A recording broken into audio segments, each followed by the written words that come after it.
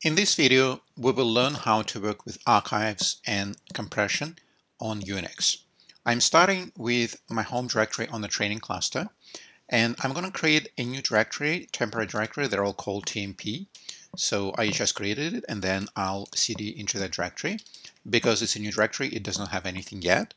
And then I'm going to use uh, the following command, uh, wget, to download a file from the internet. So I'm going to say wget followed by the URL http uh, bit.ly forward slash bash file. And if I run the command as it is, it will download this file and will save it into a local file called bash file. But I want to give it a different name with an extension .zip. So I'm going to call it bfiles uh, zip minus capital O bfiles zip and I run this command and this command downloaded my file. So the file is 243 kilobytes. If you do ls minus l, you will actually see the file, uh, the size of the file in bytes. If you want to see the fi uh, file size in kilobytes, what you can do is pass minus h flag to ls, and that will show roughly 244 kilobytes. Now, this is a zip file. So a zip is a Windows archive that is both um, a, uh, an archiving tool. So an archiving tool means it takes lots of files and packs them into a single file. And it's also a compression utility. So two tools in one. Let's unpack this file. I'm going to say unzip followed by the file name. And here it expanded everything into a directory called data shell in the current directory. So let me remove the actual zip files. We are not going to need it anymore. So here we have a directory called data shell. Let's see what's inside of it. So inside of data shell, we have lots of subdirectories and uh, there are a couple of files as well. So this is a file, this is a file, and everything else is a subdirectory. Okay, so we're currently inside the TMP folder, and inside of this folder we have a directory data shell with lots of stuff inside. Let's actually create an archive, a tar archive out of this directory. So in Unix, unlike in Windows, in Unix there are two separate tools. One is for archiving, so archiving taking lots of files or lots of directories and putting them into a single file. And then compression, which is uh, reducing uh, reducing the uh, size of the files and directories on disk via mathematical algorithm. I'm going to create an archive first and then I'm going to compress it. I'm going to type tar create vf. I'll explain uh, what it means in a second. Then I'm going to say uh, data.tar and then data shell. So what this command will do, it will create a tar archive. Uh, cvf are the flags that I'm passing to tar. And this is unique to tar command that in this case, you don't see the minus uh, or dash in front of uh, the um, the flag. And this is some, something that is unique to, to this tar command, so you don't need a dash here. And the letters are, there are three flags, CVF. C means that we are creating an archive. V means that uh, it stands for visualize. So while we're creating the archive, print the names of all files and directories that are being included into this archive. And F means that whatever follows is the name of the archive. Okay, so we're creating an archive called data.tar, and into this archive, we're putting everything from data shell. So let's run it. Okay, as you can see, we put a lot of uh, files and directories inside of this archive. So let's do ls minus l on data.tar, and it is actually quite large. So let's see what it is in kilobytes, and it is 740 kilobytes. So this is roughly three times bigger than what we had originally, the original bfiles.zip uh, file.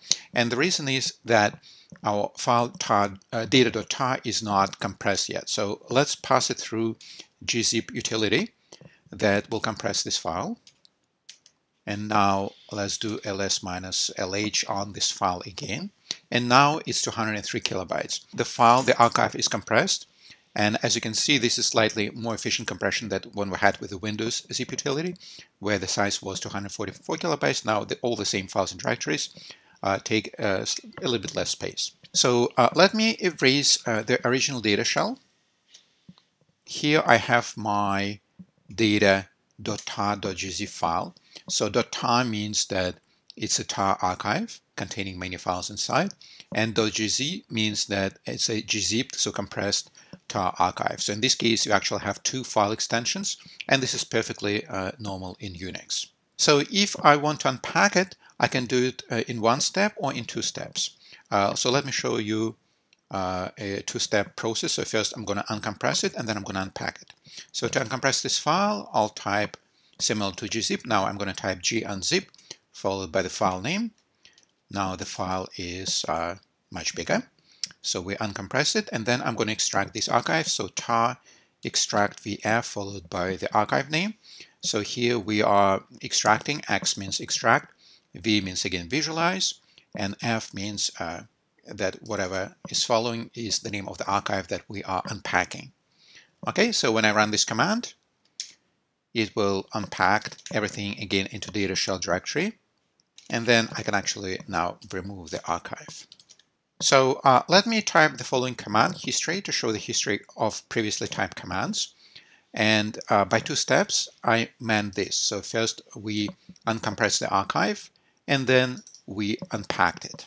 So now uh, let's replace uh, the two steps, uh, both when creating the archive and when extracting it, with a single step.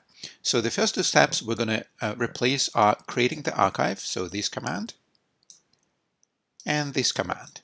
And we're going to put these two commands into a single command. So we're starting from the data shell directory. This is a directory, right? and we are going to be creating a, archive, but this time we are adding another flag, Z, for compression. So we're creating an archive that I'm going to call data.tar.gzip. And into this archive, I'm going to put everything from data shell. This single command replaces these two commands, creating the archive and compressing this archive. Okay? So let's run it. And now here we have the gzip archive. Let's do ls minus l on this archive. And we see that, actually, let me do minus h for human readable format to see the kilobytes. We have 203 kilobytes. So the archive we wanted to get. Okay. Let me erase the original uh, data shell directory so that we're left just with the archive. And now let me unpack it. So just typing history, remember that the commands for unpacking were uncompressing, gunzip, followed by the extraction. So let's just put these two commands into a single command. I'm going to type tar x uh, vf followed by the archive name. So again, we are x for extraction, v for visualize, f means whatever is in the next argument is the name of the archive, and z means uncompression. So uncompress the archive and extract all files from it in a single step. And now you see that you actually have all the all the stuff inside of data shell uh, unpacked now.